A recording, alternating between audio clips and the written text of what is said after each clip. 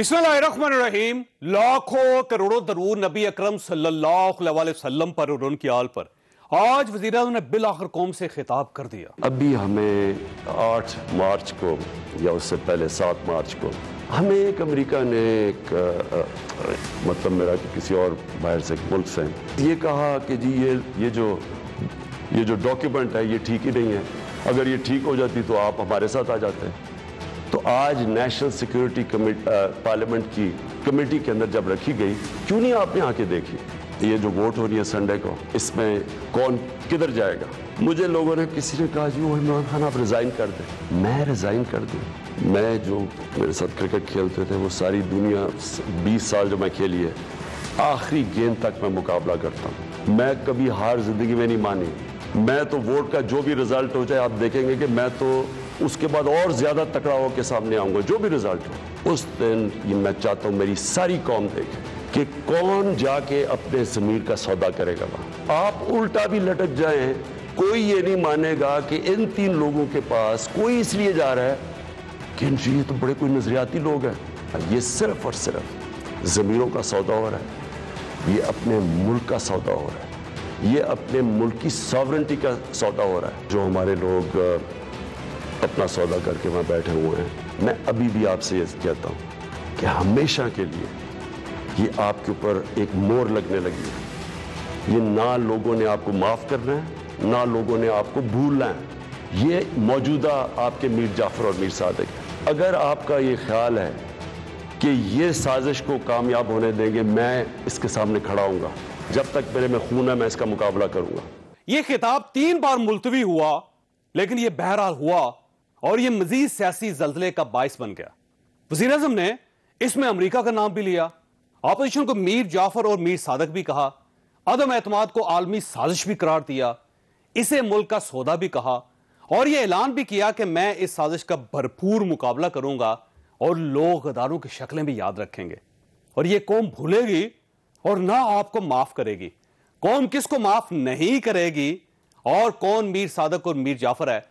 ये हमारा आज का इशू होगा और आज पार्लियामेंट का इजलास भी हुआ और उसमें क्या हुआ?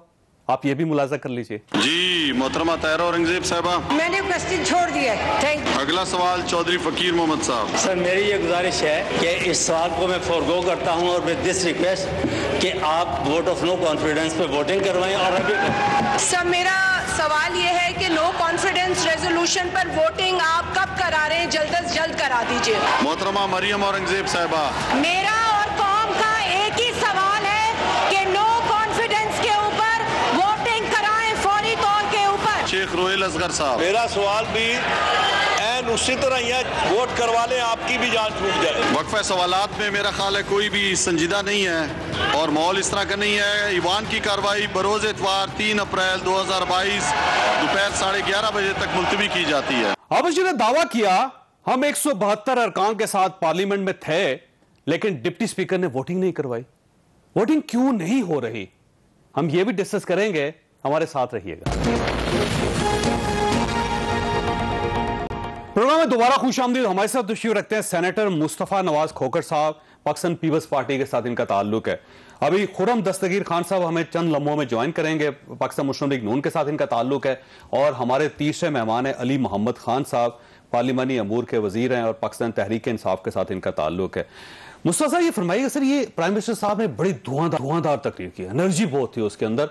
और उन्होंने कहा कि आज कौम ने ये फैसला करना है कि वो गद्दारों के साथ हैं, उन लोगों के साथ है जो मीर जाफ़र हैं, मीर सादक हैं, जिन्होंने इस मुल्क का सौदा कर दिया है। या फिर वो एक आज़ाद जो सफारतकारी उसके साथ है, या कहना ये चाहते थे, मेरे साथ हैं। तो आप ये क्यों इस मुल्क को नुकसान पहुँचाना चाहते हैं, सर? सच्ची बात है चौधरी साहब मैंने आज तक कभी इमरान खान साहब की तकरीर नहीं सुनी थी। आज मैंने वो तकरीर उनकी सुनी पूरी? और पूरी नहीं आधी उसमें से देखना शुरू की। और आ, मैं तो ये कर रहा था कि वो शायद आ, इस तकरीर में एक अपने लिए इज़्ज़त इज्जतदाराना रास्ता ढूंढेंगे एक ग्रेसफुल एग्जिट लेंगे। आ, लेकिन उन्होंने ग्रेसफुल एग्जिट नहीं लेना वो ये भी उन्होंने ऐ कर दिया अपनी तकरीर में। और शायद पाकिस्तान की तारीख के वो पहले वज़ीर अजम होंगे कि जिनको अदम अतमाद के ज़रिए निकाला जाएगा। ये रास्ता उन्होंने खुद चुना है। हमारे पास जो मतलूबा तादाद थी मेम्बरान की वो तो आज भी हमने दिखा दी। एक सौ बहत्तर चाहिए हुकूमत बनाने के लिए एक सौ सतहत्तर हमारे पास मौजूद है। और ये बगैर उन अरकान के हैं जिनका ताल्लुक इनकी पार्टी से है। ठीक। जो तकरीर का उनका मतन था उसके अंदर कल भी मैं और अली भाई एक टॉक शो में इकट्ठे थे जो पिछले दो तीन दिन से हुकूमत बयानिया बनाने की कोशिश कर रही है वो एक बड़ा तौहीन आमेज बयानिया है साहब। ठीक मैं उसको तौहीन आमेज इसलिए कहता हूँ कि मुल्क के लिए या आप लोगों के लिए? अ, मुल्क के लिए भी जी और हमारे लिए भी। ठीक।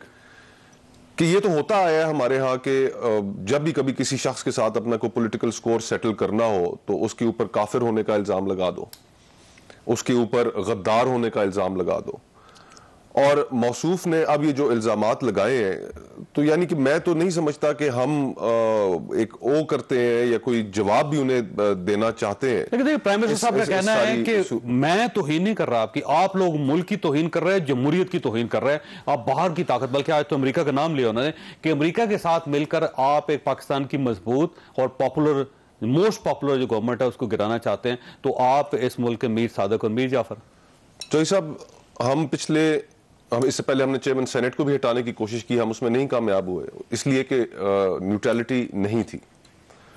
इस दफ़ा कामयाबी हमें इस वजह से मिल रही है कि न्यूट्रलिटी है। ठीक है। यानी जब आप चेयरमैन सेनेट को हटाना चाहते हो उसको अमेरिका आपके साथ नहीं था। जी हाँ। ठीक। और और इस न्यूट्रलिटी को भी पिछले चंद दिनों में बड़ा क्रिटिसाइज किया है पीटीआई ने उनके खिलाफ बड़े ट्रेंड्स चलाए हैं। तो गुजारिश ये है कहना मैं ये चाह रहा हूँ कि हमें तो चले उन्होंने गद्दार ठहराया ही ठहराया जिन्होंने उनकी हुकूमत को नहीं बचाया तो क्या वो भी बैरूनी एजेंडे के तहत चल रहे हैं? अच्छा वैसे एक क्या उन्होंने बैरूनी ताकतों के कहने के ऊपर इनको नहीं बचाया? ये किस तरीके की मजका खेज किस्म की तोहन अमेज किस्म की ये सियासत करने जा रहे हैं?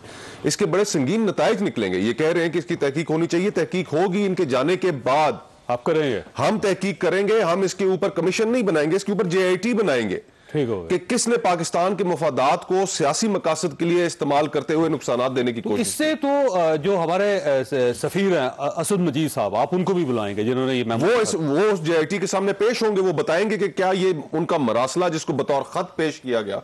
आज नेशनल सिक्योरिटी कमेटी की काउंसिल की जो मीटिंग थी उसका आप जो प्रेस रिलीज़ जारी की गई उसमें उस मुल्क का ज़िक्र तक नहीं किया गया क्योंकि ये एक एक फिक्टिशियस चीज़ इन्होंने बनाई है। और आज वज़ीर आज़म तकरीर में कहते हैं अमरीका का नाम लेकर कहते हैं कि मेरे से गलती हो गई। तो ये एक ऐसा मुल्क है चौई साहब। तो आपको जाना चाहिए था ना कमेटी में नहीं आप एफ़ टी एफ़। आप जाके बता की के। तलवार हमारे सर पर लटक रही है। एफ़ सिक्सटीन हमारे उनके पुर्जे अगर वो ना दें तो वो नकारा होकर खड़े हो जाते हैं। आईएमएफ से अगर कर्जा लेना हो तो हमें उनके पास जाना पड़ता है। तो सफारतकारी को बड़े एहतियात बड़े मुदबराना तरीके से चलाना होता है। इस तरह नहीं जिस तरह आज इन्होंने अपनी तकरीर के अंदर किया है। और फिर ऑपोजिशन के ऊपर मुल्क दुश्मनी का इल्ज़ाम लगा देना नहायत संगीन अली साहब, मैं आपकी तरफ़ आऊँगा। सर, ये जितने सफीर होते हैं ना दुनिया में, ये याद रखें कि पाकिस्तान के पास 500 सफारतकार हैं। ये और बहुत कम मुल्क ऐसे हैं जिनके पास इतनी बड़ी कोर है सफीरों की। ये आप जहन में रखिए कि 500 सफारतकार हैं पाकिस्तान के और बड़े ट्रेंड किस्म के सफारतकार हैं। और जब ये मुल्क से बाहर कहीं काम करते हैं तो वहाँ से एक मेमो या मरासला भेजते हैं रोज़ाना। ये जो असद मजीद साहब हैं, एक थारो जेंटलमैन है, एक प्रोफेशनल आदमी है, जिसको जापानीज ज़ुबान आती है जैसे जापान में पीएचडी की है, और बहुत ही इनकी रिस्पेक्ट है पूरी फॉरेन ऑफ़िस के अंदर। जब इन्होंने एक मरासला लिखा है और उनका मरासला कंट्रोवर्शियल हो गया पाकिस्तान के अंदर, और उसके बाद जब उनके खिलाफ इंक्वायरी होगी और कमीशन के सामने बिठाया जाएगा तो उसका सबसे बड़ा नुकसान ये होगा कि हमारा कोई सफीर इसके बाद ये गलती नहीं करेगा कि वो मरासला भेज दे पाकिस्तान को। जब वो मरासला पाकिस्तान को नहीं भेजेगा तो इसका मतलब ये होगा कि हमने तो अपने खुद हाथ पाँव काट दिए। तो आपने ये सोचा नहीं कि इस किस्म की जब आप बात करेंगे तो इससे पाकिस्तान को कितना नुकसान होगा? बिस्मिल्लाहिर्रहमानिर्रहीम। वबारक सल्लि वसल्लम, मुबारक अला सय्यिदिना मोहम्मद। बहुत शुक्रिया। सबसे पहले तो इब्तदा उसी से करें जिसका ज़िक्र हुआ कि जो मरासला है, उसके बारे में नेशनल सिक्योरिटी कमेटी, जिसमें तमाम सिविल और मिलिट्री टॉप लीडरशिप बैठी थी, उसका जो एलामिया है वो क्या है? और उसके बाद फिर आगे बात करते हैं। आपके नाजरीन के लिए मैं पढ़ देता हूँ दस बारह सेकंड में the committee expressed grave concern. वैसे तो पढ़ चुके हैं सारे, लेकिन लैंग्वेज आप दोहरा the issue foreign official as undiplomatic. The committee concluded, ये बड़ी इंपॉर्टेंट है आगे अब ये मत भूलें कि इस कमेटी में सिर्फ़ हुकूमती लोग नहीं हैं सिविल ब्यूरोक्रेसी मिलिट्री इस्टेब्लिशमेंट हसास इदारों के सरबराहान सब वहाँ मौजूद थे वो ये है कि The committee concluded that the communication amounted to blatant interference in the internal affairs of Pakistan by country in question, which was unacceptable under any circumstances.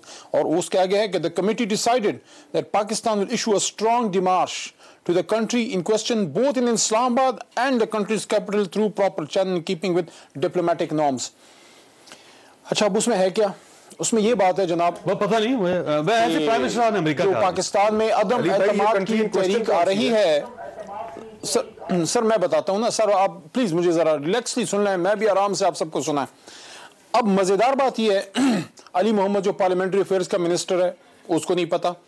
Speaker Asad Qaiser साहब को नहीं पता वज़ीर अजम पाकिस्तान को नहीं पता और जावेद चौई साहब जो बहुत जयद साफी हैं उनको भी नहीं पता। किसी को पाकिस्तान में नहीं पता लेकिन किसी और मेरा नाम लिया तो अगर आप इजाज़त दें मैं आपको बताऊँ। पता है और हमें महीने पहले पता था sir sir. Sir sir sir हर शो के अंदर बात बात करूँगा अपनी बात से कॉल ना करें ये आजकल आप तो लोगों ने बड़ा ये तरीका निकाला है कि बीच में इंटरफेयर करें ताकि आप आर्गुमेंट को तोड़ दें। प्लीज़ मेरी बात पूरी होने दें।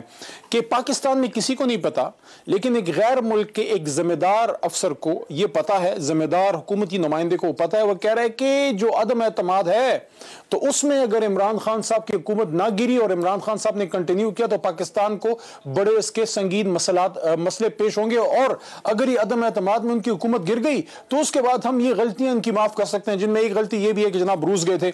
अब उसके अगले दिन अदम एतमाद आ जाती है जनाब ये बड़ी अजीब बात है। अब अदम एतमाद जो है उसके आने के साथ ही ये सारी कहानी स्टार्ट होती है और अचानक बहुत से लोगों के जमीर जाग उठते हैं। इमरान खान साहब ने उन लोगों को बात की है। ये सेनेटर साहब जो हमारे साथ बैठे हैं ये मेरे छोटे भाई इन जैसे लोगों को नहीं कहा ये अपनी जमात के अंदर बैठे हुए हैं।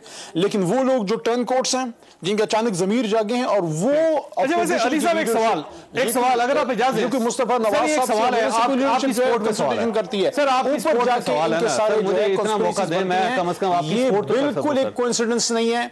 ये बिल्कुल एक कोइंसिडेंस नहीं है कि एक टाइम पे यहाँ पे अदम एतमाद आती है और फेवर का है एक सादा सा सवाल है अली मोहम्मद खान साहब मुझे वो सवाल कर लेने भाई। ठीक सवाल ये है कि ये मरासला है सात मार्च को और प्राइम मिनिस्टर साहब ने इस बेसी को 20 दिन बर्दाश्त किए रखा और उन्होंने दुनिया को नहीं बताया कि पाकिस्तान के खिलाफ एक साजिश हो रही है।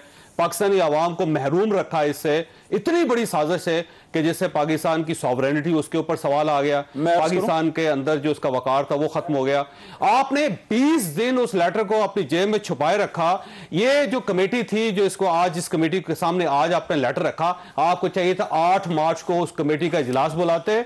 उसमें ये रखते, रख के अमेरिका को फौरी तौर पे आप जवाब देते हैं कि आप होते कौन है कि पाकिस्तान के अंदर इस किस्म की इंटरवेंशन करें। सर, आप 20 दिन रख के बैठे रहे, सर। सबसे पहले तो सवाल आप पे उठना चाहिए कि इतनी बड़ी साजिश और आपने 20 दिन छुपाई रखी।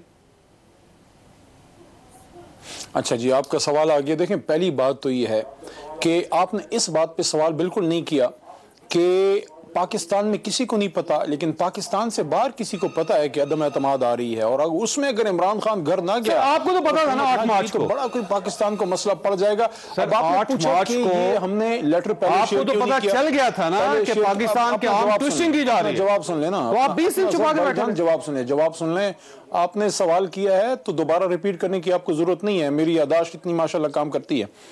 तो उसके आगे अगर आपको याद हो तो ये पाकिस्तान में एक इस्लामी सरबराही कॉन्फ्रेंस हुई थी फॉरेन मिनिस्टर्स की जो दो महीने में दूसरी बार हुई है जिसमें आप ही के वजी अजम इमरान खान साहब ने इस्लामिक ब्लॉक की बात की है जिसमें आप ही के वजी अजम इमरान खान साहब ने फ़लस्तीन की बात की है जिसमें आप ही और हमारे हम सब के वजी अजम इमरान खान साहब ने कश्मीर की भी बात की और ये भी कहा है कि इस्लामिक उम्मा को एक ब्लॉक बनाना चाहिए सवाल का जवाब दें तो इस वजह से इस वजह से फौरी इसको शेयर नहीं किया गया कि उसके डिप्लोमेटिक इशूज आ सकते थे। जैसे ही वो खत्म हुआ। उसके बाद इसको फ्रंट पे इमरान खान साहब सत्ताईस को लेके आए और उसके साथ साथ तमाम वो तो अंडर सेक्रेटरी आई हैं सर, USA की अंडर सेक्रेटरी आई हैं, आपने खुद बुलवाया, उनको invitation दी है, उसको आप इस पे बात करें ना इस्तेमाल अच्छा किया, उनके साथ होती हैं हमारी। में हमने है, OIC के सारे members के साथ करवाई बात है। इसको थोड़ा सा कंडेम तो करें ना जी।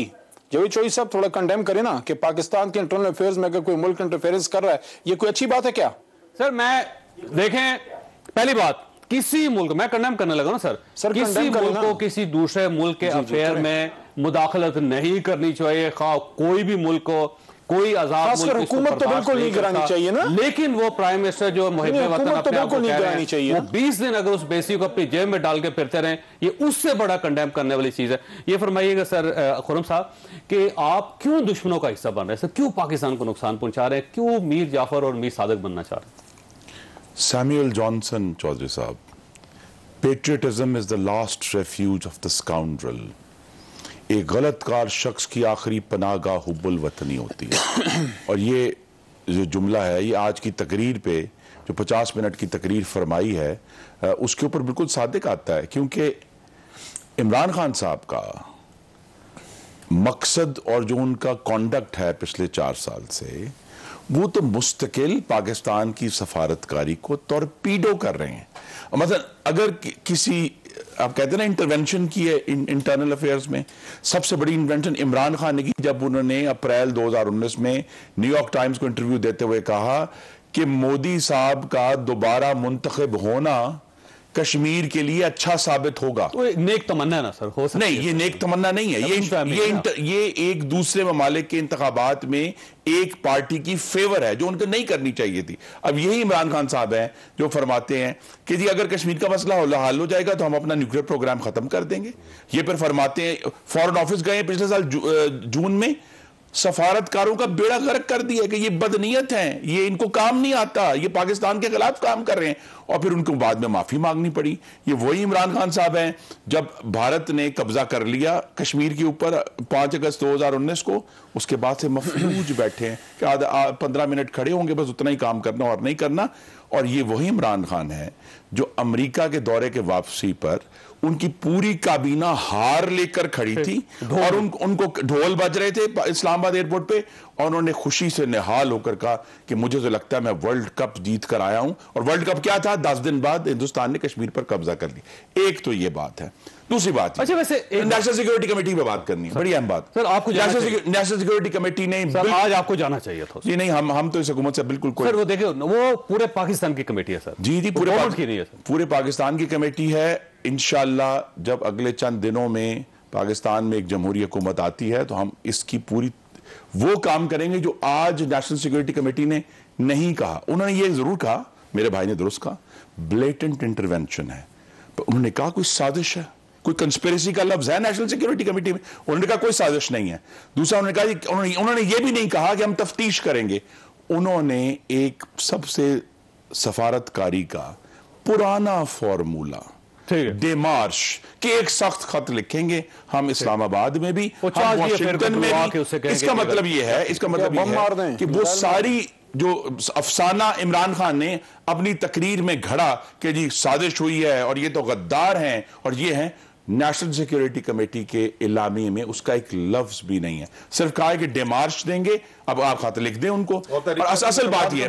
है। और एक एक बात देखिए ये मरासले जो है ना सफारती मरासले अल्लाह ताला के करम से अल्लाह ने मुझे भी मौका दिया पढ़ने हाँ, का। ठीक। ठीक है? वो तीन चार तीन चार मिनिस्ट्रीज को जाता हाँ, ठीक है जब भी कोई मरासला आता है तो वजारत दिफा में भी जाता है और वजारत खारजा में मैंने खारजा में रह के भी पढ़े हैं दफ़ा में भी रह के पढ़े हैं। ये मरासले आते ये मरासले पॉलिसी नहीं है। इमरान खान को चाहिए था कि जब इनको अगर सात मार्च को मौसू हुआ था तो अब तक पाकिस्तान की तमाम एजेंसियों की इन्वेस्टिगेशन हो जानी चाहिए थी।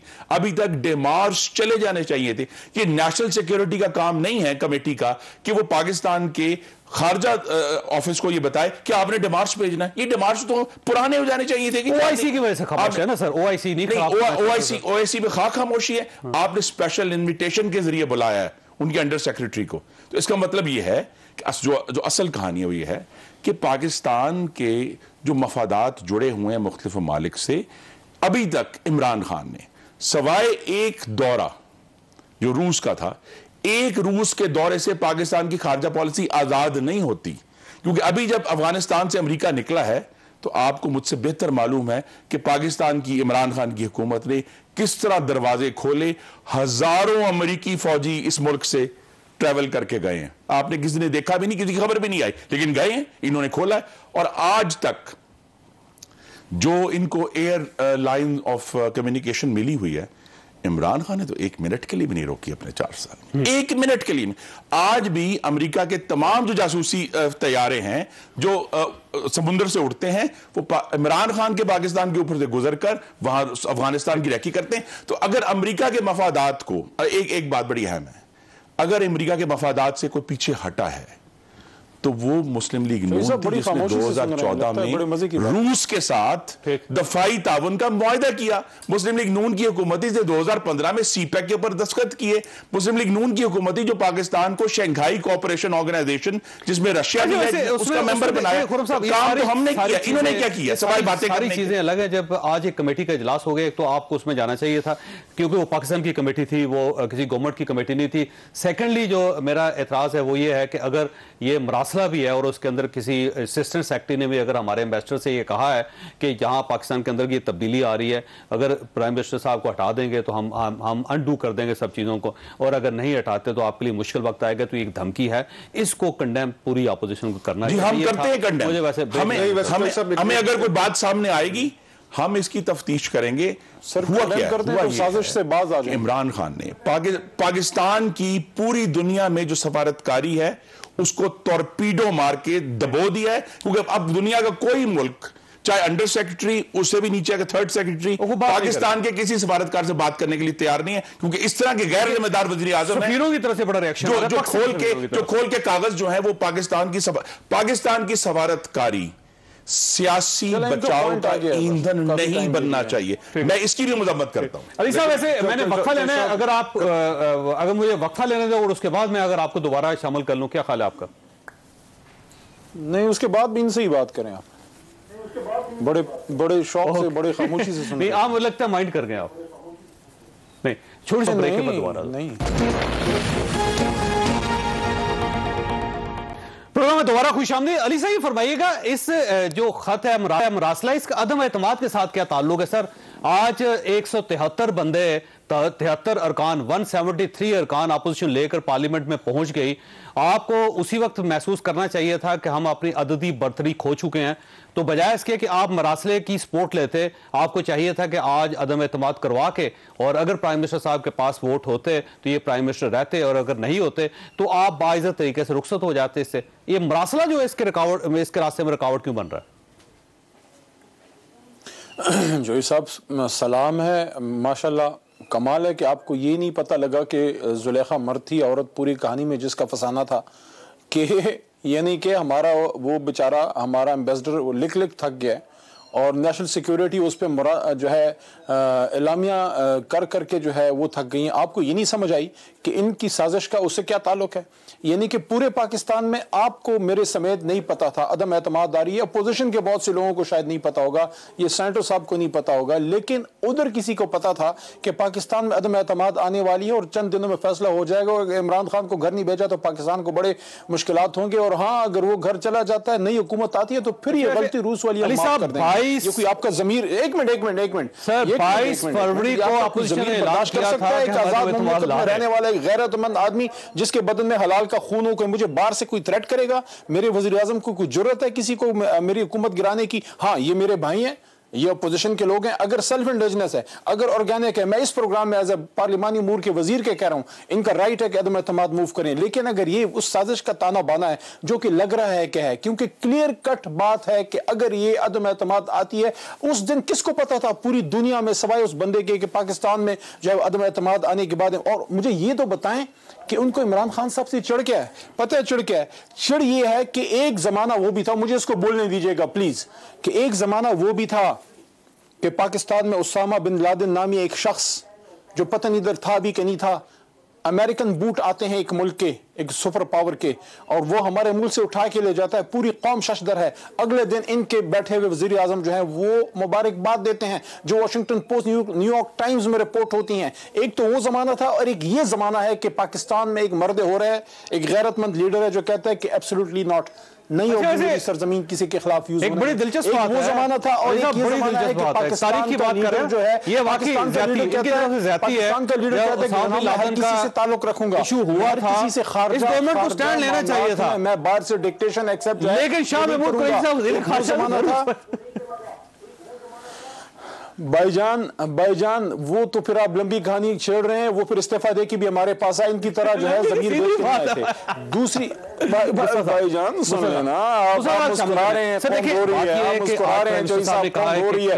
कौन कौन खून के आँसू रो रही है? कि पाकिस्तान में हुकूमतें गिराई जाएँगी जो खून के आँसू रो रही है? पाकिस्तान बेच दिया था अड्डे आपने दे दिए थे सारे। आज पाकिस्तान अगर अपनी इज़्ज़त के साथ खड़ा है अपने पाँव पे तो आज आपको ये पाकिस्तान अच्छा नहीं लगता विचो विचो तो खाई जाओ तो रोला पाई जाओ यही करने की इजाज़त दें।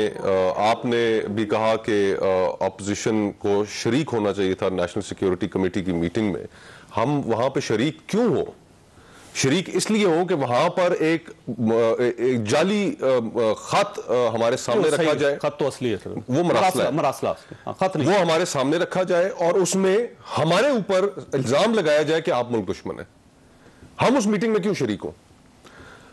गुजारिश ये जॉय साहब कि जिस तरीके से ये मुल्क और मुल्क के मामला को पिछले साढ़े तीन चार चार साल से चलाते रहे हैं इतना इमेच्योरली इन्होंने इस मुल्क को चलाया है। और अब जब इनको अपना डिपार्चर नज़र आ गया है तो इन्होंने ये फैसला किया कि हमारे पास एक पोस्ट डिपार्चर एक नैरेटिव होना चाहिए। और वो नेरेटिव ये तैयार कर रहे हैं। तो इसका हकीकत से कोई ताल्लुक नहीं। क्या हमारे दौर में जब हमारे फौजी शहीद हुए तो क्या सलाला इंसिडेंट के बाद क्या नेटो सप्लाईज बंद नहीं की गई? तो उसमें भी इमरान खान का बहुत हाथ था वैसे।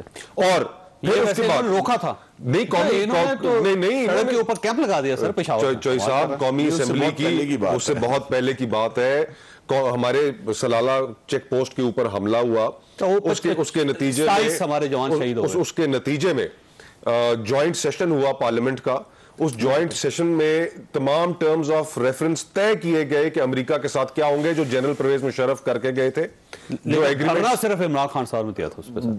धरना किस चीज़ पर किया था जी उन्होंने? कि वो सप्लाई रुक मैं अगर अभी आपको वो फुटेज इनका निकाल के दिखा दूँ कि जिसमें सितंबर 11 जो अमेरिका ने किया किया और जनरल मुशरफ ने जो अमेरिका का साथ दिया उसके ऊपर वो फुटेज मौजूद है जिसमें इमरान खान साहब कह रहे हैं कि जनरल मुशरफ के पास कोई ऑप्शन नहीं था उसने ठीक किया पोलिंग एजेंट अच्छा, थे मुशर्रफ के हाँ, रेफरेंडम के 2002 में क्या बात कर रहे हैं? हैरत होती है कि खुददारी की बात कर रहे हैं। ये स्टेट बैंक ऑटोनॉमी बिल जो अभी पास हुआ है चंद महीने पहले पास हुआ है ये खुद मुख्तारी का समझौता किसने किया? ये आईएमएफ के जो नुमाइंदे यहाँ पर गवर्नर स्टेट बैंक के तौर पर बैठे हुए हैं ये किसने बिठाए? जो एफ़ के 21 कवानीन पास हुए जिसके अंदर हमने अपनी सोवरेनिटी सरेंडर की वो किसने पास किए? तो गुजारिश ये है कि ये इनकी गुफ्तगु अगर अभी आप सुने तो अपने आप को एक शहीद के तौर पर पेश करना चाह रहे हैं लेकिन पाकिस्तान के अवाम इतने सादे नहीं है इतने जाहिल भी नहीं है कि आपको जब आपकी हुकूमत जाती हुई नज़र आए आप एक मन गढ़त कहानी उनके सामने रख लें और वह बच्चों की तरह उस कहानी को मान लें। ठीक। ये इनकी खाम ख्याली है। साहब खुरम साहब। खुरम साहब ये फरमाइएगा कि अगर फ़र्ज़ करें कि आपकी गवर्नमेंट आ जाती है और एक कोलिशन गवर्नमेंट बनती है जैसे कि आप बनाना चाह रहे हैं तो उसके बाद क्या आप वाकई इसको टेकअप करेंगे इस इशू को? और टेकअप करने के बाद उससे जो उसके नतज निकलेंगे, क्या वो पाकिस्तान बर्दाश्त करेगा फिर उसका? जी, बिल्कुल बर्दाश्त करेगा। हम वो काम करें जो इमरान खान ने नहीं किया। मैंने अर्ज़ किया, ये डिस्पैचेस मुझे भी अल्लाह ने पढ़ने का मौका दिया। उसका पहला तरीका ये है कि आप ये डिस्पैच फिर अपनी तमाम एजेंसियों को भिजवाते हैं उसे कहते हैं, इसको वेरीफाई करें कि क्या ये जो बात एक लो लेवल डिप्लोमेट ने की है, क्या ये अमेरिकन पॉलिसी है? आप उसको इन्वेस्टिगेट करके, और अगर आपको ये शवाहद आते हैं वॉशिंगटन से और यहाँ से कि वाकई इसमें हकीकत है, फिर आप एक्शन लेते हैं। यहाँ तो ये सियासी ईंधन बना दिया, और हकीकत ये है कि ये जो 27 मार्च को वज़ीर आज़म ने इस्लामाबाद में ये पर्चा लहराया, जिसके बाद से ये इशू बना, इमरान खान ने अपना हलफ जो है उससे रूगर्दानी की है। हलफ ये कहता है मैं पढ़ के सुना दूँ वज़ीर आज़म का। मरासला जो है ना वो अपने सफीर का ना सर सुने। नहीं, नहीं, नहीं, हैं। यहाँ ओथ में ओथ में ये लिखा हुआ है आई विल नॉट डायरेक्टली और इनडायरेक्टली कम्युनिकेट और reveal to any person any matter which shall be brought under my consideration or shall become known to me as prime minister except as may be required for the due discharge of my duties. तो official secret जलसे act का में खड़े मुकदमा होता है। जलसे में खड़े होकर लेकिन सर धमकी वाली कौन सी ड्यूटी थी? सर धमकी जो है वो इसमें सीक्रेट में नहीं आती है। सीक्रेट एक्ट में नहीं आती। नहीं, वो- वो- जब कोई मुल्क धमकी देता है तो फिर प्राइम मिनिस्टर को फ़र्ज़ होता है तो आप- आप को फ़र्क कभी नहीं पड़ता। डिप्लोमेटिक डिस्पैच पढ़े मरासला पढ़े उसके ऊपर बड़ा बड़ा लिखा होता है टॉप सीक्रेट उसको रिवील नहीं किया जा सकता। बहुत सारी वजूहत की ज़्यादा वजूहत ये हैं कि जब तक किसी भी मरासले को आप उसकी तस्दीक और तोसीक ना कर लें आप उसको सहीफा नहीं समझ सकते। और वो जो अब सफीर साहब हैं जो आप ब्रसल्स में मिनट्स है ना सर वो- जब वो गुफ्तगू ब्रसल्स कर रहे में चले गए। नोट नोट किए हाँ। वो ब्रसल चले गए मिनट्स भी नहीं है। देखिए मिनट्स भी क्या होता है? अब मैं प्लीज़ आपके है, हैं। आपके नाजरीन को समझ आनी चाहिए ये मिनट्स नहीं है ये रूदाद होती है कि वो गए उन्होंने कहा मेरे साथ ये नोट टेकर था। उसने ये ये बात की। तीन पोर्शन होते हैं ना सर उसके। हाँ, या तो ये इस जो कम्युनिकेशन होती है उसको एज इट इज़ लिख देते हैं। अगर एम्बेसडर हो को थोड़ा सा सीनियर हो तो अपनी असेसमेंट लिख देता है। और अगर बहुत ज़्यादा सीरियस इशू हो तो नीचे रिकमेंडेशन में लिख देता है। तो लिहाजा ये। अमेरिका की तरफ़ से एक वर्बल कम्युनिकेशन हुई है। जिसको आज नेशनल सिक्योरिटी कमेटी ने किया। लेकिन नेशनल सिक्योरिटी कमेटी में फिर दोहरा देता हूँ। उन्होंने ना साजिश की बात की है और ना ये कहा है कि हम तफ्तीश करेंगे। उन्होंने सिंपली का एक सख्त खत लिख दें। मैंने ब्रेक लेनी अली साहब आपके सवाल छोड़ के जा रहा हूँ कि आप ये फरमाइएगा कि अगर अदम एतमाद आपके खिलाफ कामयाब हो जाती है तो इसका मतलब ये हुआ कि हर वो शख्स जो उस अदम एतमाद में शरीक था वो भी मीर सादक है और मीर जाफ़र है। एक छोटी सी ब्रेक को ब्रेक के बाद दोबारा ज़रूर। प्रोग्राम में दोबारा खुश आमदी अली साहब फरमाइएगा अगर ये अदम एतमाद कामयाब कामयाब हो जाती तो आप ये समझेंगे कि हर वो शख्स जिसने वोट दिया है इमरान खान साहब के खिलाफ कौमी असम्बली में वो गद्दार भी है और वो मीर जाफ़र भी है वो मीर सादक भी है और कौम उसको नहीं भूलेगी। देखिए कौन गद्दार है और कौन नहीं इसका फैसला तो वक्त और तारीख पर कर देती है। और तारीख में मीर जाफ़र मीर सादक का नाम प्राइम मिनिस्टर साहब ने कर दिया ना सर। लोग टीपू सुल्तान को याद करते हैं। देखें बड़ी ताकतों का ये तुर्रा इम्तियाज़ रहा है। कि जब कमज़ोर ममालिक अपनी एक गैरत और अपनी खुदी की बुनियाद पर एक आज़ाद खारजा और दाखिला पॉलिसी इख्तियार करते हैं मुश्किल का सामना करते हैं, जब लीडरशिप नहीं मानती, पहले उनको ख़रीदने की कोशिश की जाती है, झुकाने की ब्लैक मेल करने की, जब नहीं मानते तो फिर रजीम चेंज उनके पास एक बहुत बड़ा ऑप्शन होता है and for that they use their money and everything और उसके जो, उनके जो परवरदा होते हैं जिन पर उन्होंने इन्वेस्ट किया होता है, जिनकी कॉम्प्रोमाइज़ होती है आज़ादी, क्योंकि उनके बाहर एसेट्स होते हैं, वो आज़ाद फैसले नहीं कर सकते दे यूज़ देम तो मैं ये कहना चाहता हूँ कि ये जो रजीम चेंज की साजिश है जानते बूझते कि आज नेशनल सिक्योरिटी कमेटी ने इस पे अपनी राय का इजहार किया है बिल्कुल खुलेआम के पाकिस्तान के अंदरूनी मामला तो करेगा शख्स मुझे ये बताएँ ये इस के अलावा और क्या है? वो गद्दार भी होगा और वो सासी भी होगा। तो सर उसके अंदर तो एमकेएम शामिल है उसके अंदर जीडीए शामिल है उसके अंदर बाप पार्टी के लोग शामिल है और इसी अदब एतवार के तो अंदर चौधरी बरादरान के तीन वोट यानी तारक बशीर चीमा साहब भी शामिल होंगे उसके अंदर। सर वो साढ़े तीन साल था, चार साल आपके वज़ीर रहे हैं। तो आपको ये पता नहीं चला कि मीर आपके साथ बैठा करें लेकिन ये नहीं आए क्योंकि इनको पता है कि इसमें क्या है। इनकी अपनी रिक्वेस्ट थी कि आप हमें बताएँ इन कैमरा बताएँ कि इसमें क्या इनकी रिक्वेस्ट पे मीटिंग बुला क्यों रहे हैं, लेकिन अली भाई? आप हम पे केस जैसे लोगों को इनकी आप हम पे ने क्या गद्दारी का आर्टिकल इनकी छह leadership का नहीं चाहती कि मुकदमा चलाए, हमें चौकों में लटकाए, आप हमें बुला क्यों रहे? साजिश की जा रही है वो सर वो मुकदमा बनाया ना हम तो कह रहे हैं आप मुकदमा बनाए गद्दारी का मुकदमा। बनाया मुकदमा बनाया बिल्कुल आप हमें बुला क्यों रहे हैं जिस तरह आपने पार्लियामेंट के ऊपर धावा बोला किसी इस्लामाबाद किसी थाने में दरखास्त दें हम सबको तमाम एक सौ बहत्तर लोगों को आप अरेस्ट कराएँ सबके ऊपर गद्दारी का मुकदमा चलाए। थे वैसे एक सौ सतहत्तर थे। हाँ पचहत्तर सेवेंटी फाइव की तो सबके ऊपर गद्दारी का मुकदमा चलाएँ आप हमें बुला क्यों रहे हैं? गद्दारों को आप बुला रहे हैं बताने के लिए कि खत में ये आया है।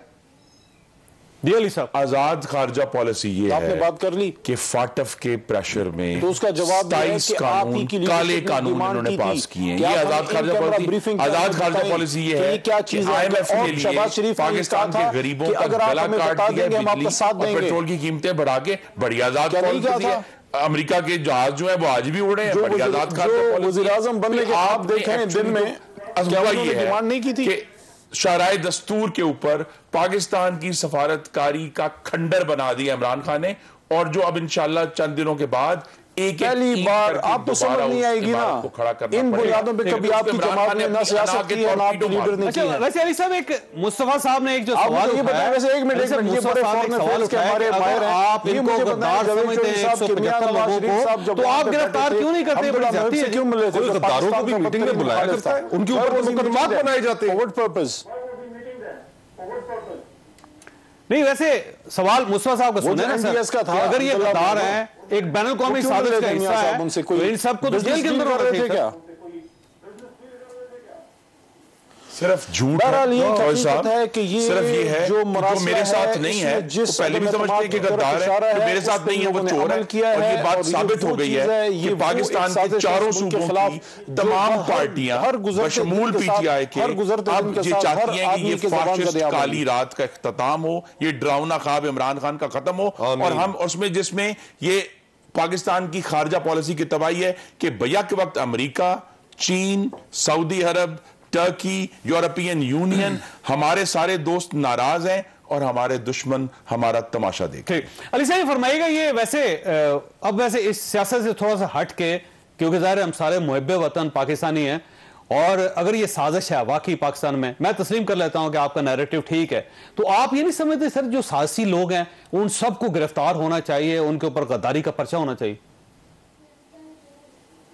अगर कोई उस साजिश को जानते बूझते और उस साजिश का हिस्सा रहा है जिसने उधर डीलिंग की हैं बिल्कुल उन पर बनने चाहिए। लेकिन आप मुझे चोई साहब ये ज़रूर बताइएगा कि आपने अभी इस अपने प्रोग्राम में बनाते क्यों नहीं हैं? अमल को जो जो जो जो मरासला आया आपने उसको कंडेम किया है। आपने क्यों कंडेम किया है? आपको बुरा लगा ना कि आपके मुल्क के वजी अजम को बाहर से कोई ऑर्केस्ट्रेट करके उसकी हुकूमत को गिराए? आपको बुरा लगा ना? तो फिर इन लोगों को बुरा क्यों नहीं लग रहा? हम तो कह रहे हैं हम पे मुकदमा चलाएँ अली भाई। बुरा लगने की क्या बात है? हम हमें तो- जो हमें हम जो तो चीज़ बुरी हैं, लगती है। मुजरिम है चौहान साहब हमें जो चीज़ बुरी लगती है वो ये है करें, अपने मुल्क से ज्यादती ना करें। बत्तीस माह से अपने पाकिस्तान में एशियाई खुर्दोनोश की महँगाई हर महीने तेरह फ़ीसद है। हमें ये चीज़ बुरी लगती है। हमें ये चीज़ बुरी लगती है कि पूरे पाकिस्तान में करोड़ों पाकिस्तानी बेरोजगार हैं। हमें ये चीज़ बुरी लगती है कि नारे लगा के आए थे। और टमाटर की कीमतें तो बाईस हज़ार अरब का कर्जा ले चुके हैं इन पौने चार साल में। हमें यह चीज़ बुरी लगती है कि पाकिस्तान की जमहूरियत का बेड़ा गर्क कर दिया है। हमें तो यह चीज़ बुरी लगती है और बुरी लगती रहेगी और इसीलिए हम मैदान अमल में आज इसको खत्म करने साहब आपने गुफ्तु सुनी? फैसला आप खुद कर लीजिएगा। आप और आपके अली खाना को हर किसी मुसीबत से महफूज रखे। अल्लाह हाफिज।